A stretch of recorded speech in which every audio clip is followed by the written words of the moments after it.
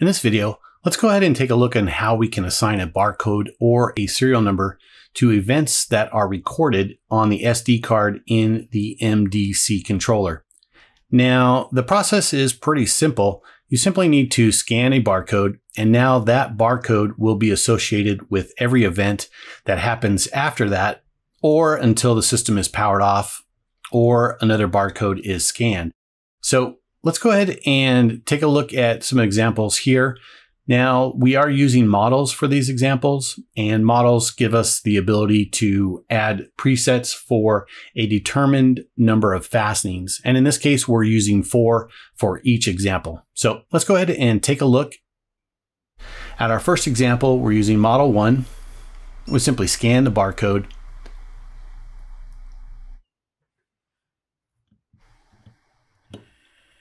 Now with each fastening, we are recording the torque data along with some other data that we'll look at here in a minute. And the barcode is associated with each rundown. Now that the model is complete, we're actually going to scan a barcode to change the model to model number two. And now that we've done that, now this barcode is going to be associated with all of the events that happen until we change the model again. So we'll do our rundowns. And now that that model is complete, we're going to go ahead and scan another barcode to change the model. But now we're going to come back and scan an additional barcode before we start. And now the second barcode that we scanned is associated with those events that happen after that.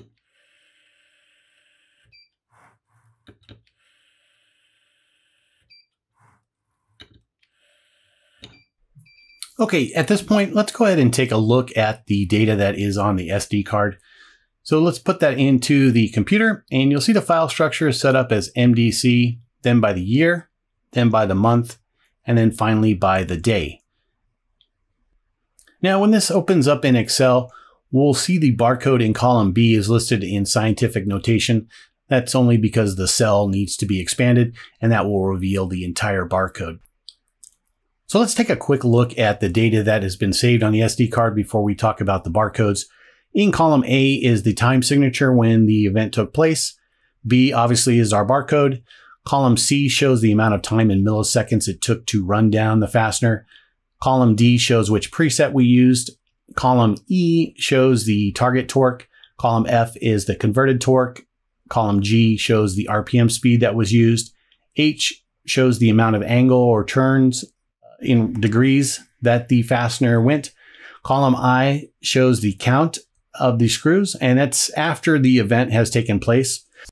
So it may look a little bit confusing. However, before we start each fastening sequence, you'll see that it begins with a count of four and then runs down to a count of zero for the last fastening.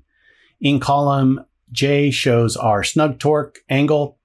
Column K shows our error field. If there was an error, a code would show up in that data field. Column L shows the FL, which basically is the tool is in its forward or loosening position.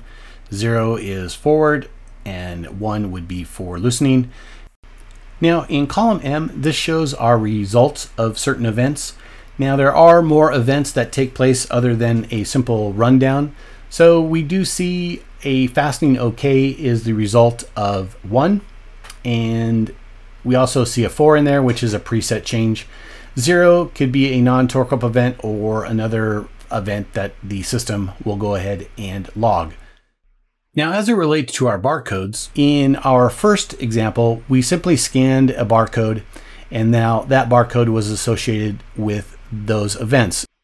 And you can see that beginning in row three through row seven. In our next example, we scanned the barcode to change our model, which also then changed our preset. And you can see that from row eight all the way through row 14. Now, since we didn't scan any additional barcode, that one was associated with those events.